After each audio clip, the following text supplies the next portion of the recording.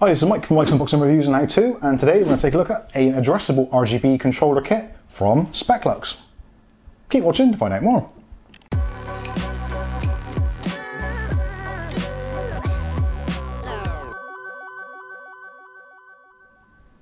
Today we're going to be taking a look at a addressable RGB kit from Speclux. Now this is on Amazon at the moment for £18.99 of your Earth pence, which in my opinion is actually a pretty good deal.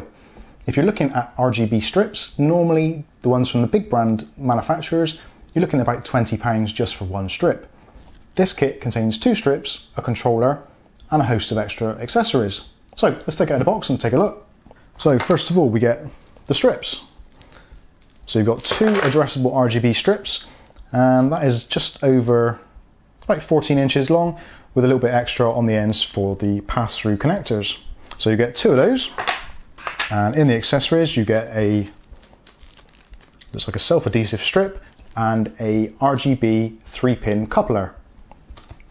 Next we get a RGB 3-pin to their custom 3-pin connector which is a quick release connector, which is nice and handy for connecting these up. Nice and simple. Also, we get the three button RGB controller with a SATA connection, which is great news. I'm so, so looking forward to the day that Molex finally does not exist on PCs anymore. So that is a good idea. Also, the cable on there has got quite a long extension by looks of things. So if you're trying to do some nice tidy wiring, You've got probably getting on for about 18 inches worth of cable there, so you can hide that out the way discreetly.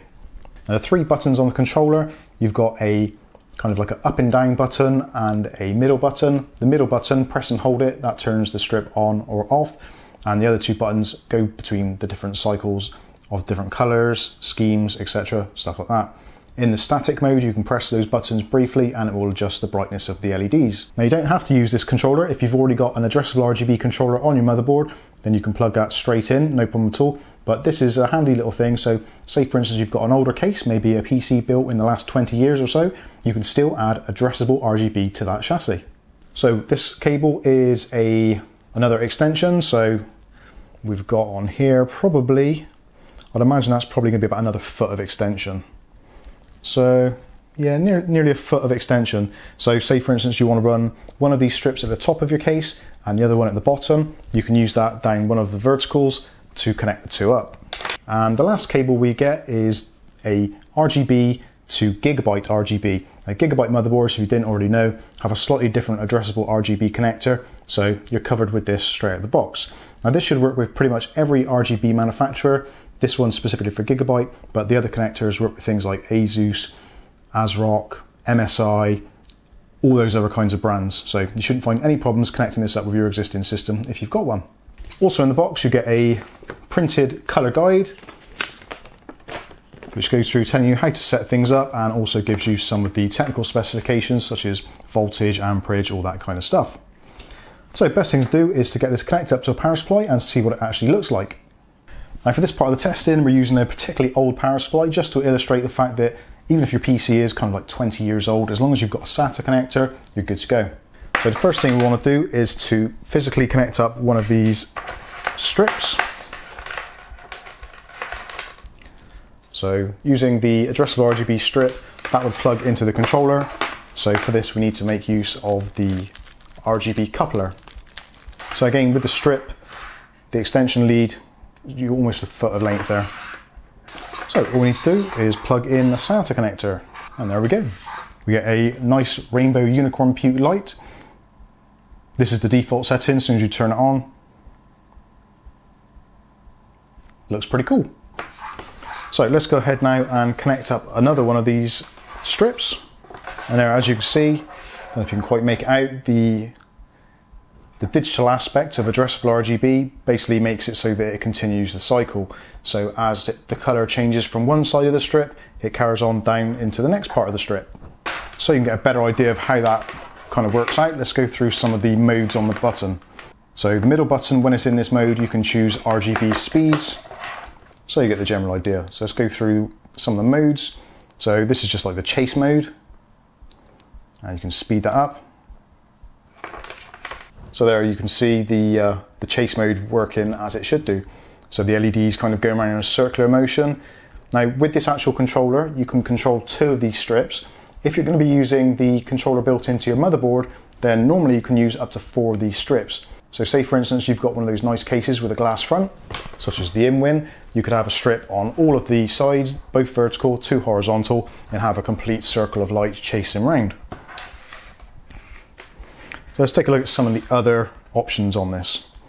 So there's the unicorn one, you've got the color flow,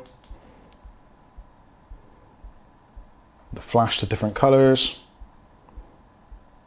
that's a static.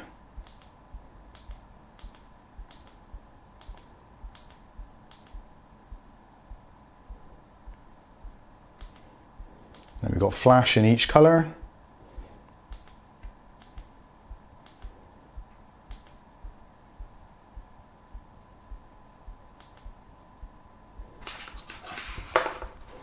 And there's a kind of flash and dash sort of setup. If that's your thing. Again, you can speed it up or slow it down with the remote control. So that's on the slowest setting. And you can do that in the various colors.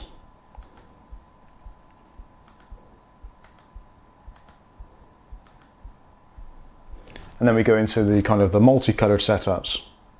So if uh, yellow and pink is your thing, absolutely great. Yellow and blue, so if you're going for that kind of Miami look. Blue and pink is uh, quite a quite sort of neon effect, I think. Then you've got like the fluorescent green and fluorescent pink, so like 1980s trainers.